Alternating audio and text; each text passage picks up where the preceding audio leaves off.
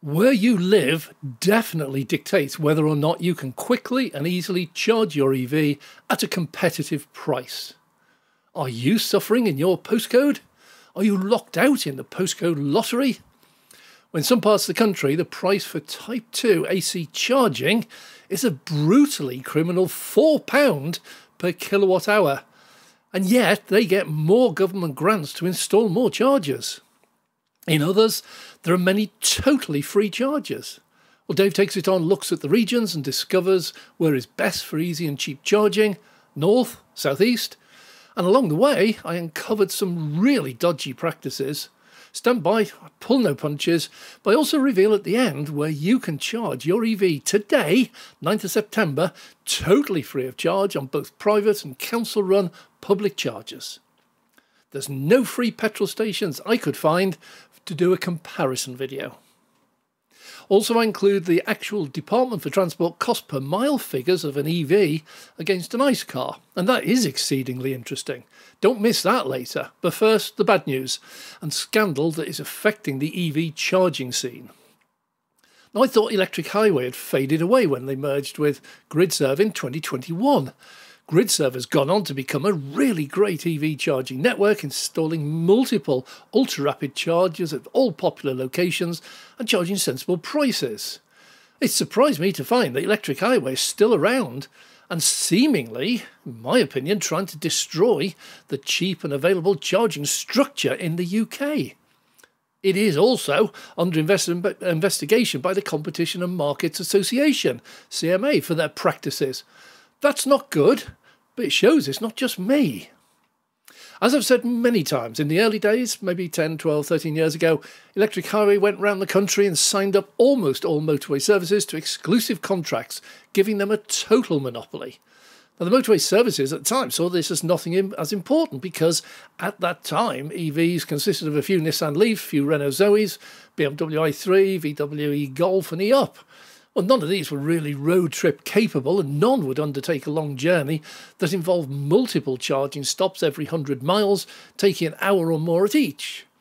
Electric Highway, despite their merger, still holds those exclusive monopoly contracts, and, from what I've discovered, they seem to be increasingly actively enforcing them to the total detriment of EV drivers. This has now become the subject of a separate video I'll be releasing shortly. Please subscribe so you don't, don't miss that one. Well, my first visit was to the Department for Transport and my first surprise. They don't bother collecting their own data, they just use ZapMap. No, I'm not joking. Now, this is in no way to belittle ZapMap. They do a great job, they offer effective data and try to keep up to date. Any previous criticism of mine was about them not being totally up to date. We can't rely on it, uh, on data like availability and prices and the website and app were being quite dated and slow. But alone for that, I use them a lot myself for research.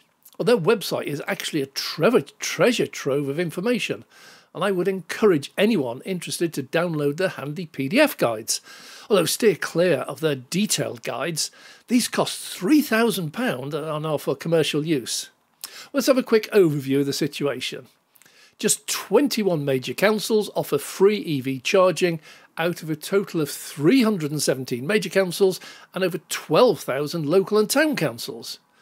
Private, totally free public charges are still to be found in plenty, and there's details of these later.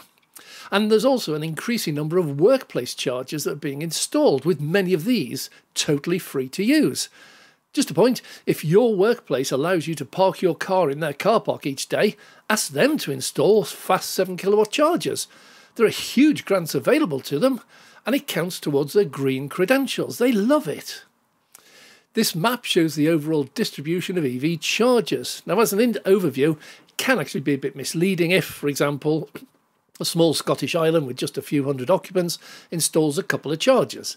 But overall, it looks pretty bad for me up in the northwest.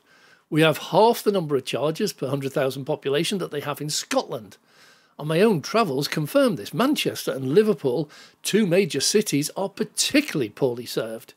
Yet Cornwall is steaming ahead with 50% more chargers and accelerating as more networks target the lucrative tourist trade. Cornwall's population is only around half a million, but that doubles, triples, or even quadruples in the holiday season.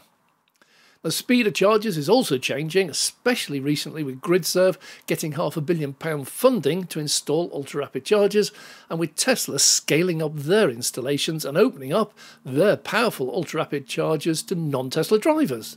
Here, the trend is obvious all types and speeds of chargers are seeing huge growth, but fast charger growth is still outpacing rapid and ultra rapid. Well, this is quite logical. They're cheaper to buy and it's easier and quicker to find sites and power supplies for one or two low, relatively power 50 kilowatt units. Price is next with the average overall UK average price now 51 pence for slow or fast and 76 pence rapid or ultra rapid. 76? I don't actually know anyone charging that. That can't be an average. Anyway, ZapMap help, helpfully converts this to show that an EV driver using slow or fast chargers at these rates pays 14 pence a mile and using rapid or ultra rapids pays 21 pence a mile. So with petrol today at £1.53 and diesel at £1.56 a litre, or around £7 a gallon, an ICE car doing 30 miles per gallon pays 24p, 40 miles per gallon pays 18p, and a 50 mile per gallon pays 14p just in fuel. Now ZapMap do offer three families with EVs in three scenarios 80% home charging, 50% home, and 20% home versus ICE. And none of the EVs cost more than their ICE equivalent. There's more on this later. Prices also have risen overall by around 46% between July last year and July this year. Okay, it's a constantly changing situation, but where is it free? Well, everywhere. Some councils are promoting free EV charging, like Leeds up in Yorkshire and Bridgend and Woking, and a lot in Scotland, while free private Type 2 chargers are literally everywhere. It is generally cheaper than average up north, despite not having as many chargers, the northwest, northeast, Wales, and even the Midlands is much dearer in the south, typically 25% dearer. And Cornwall tops the league, along with London, for the highest prices, about 100% dearer than the average, while Scotland leads the way for maximum free and cheap charges. Now, an important note here neither ZapMap nor the government seem to seriously take Tesla into account, and that really affects these findings. The list of prices from which they work out the average includes BP Pulse, GeniePoint, uh, MFG, Osprey, Instavolt, all at 79p, and Tesla at 60p.